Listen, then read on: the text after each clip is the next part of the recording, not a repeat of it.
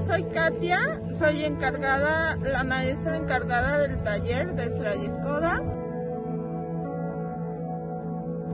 Son, somos 20 personas que, bueno, venimos a trabajar diario con entusiasmo y ganas para tener un futuro mejor. Hoy nos visitó Leo y nos gustó mucho su propuesta y confiamos en él para que nos ayude a salir adelante.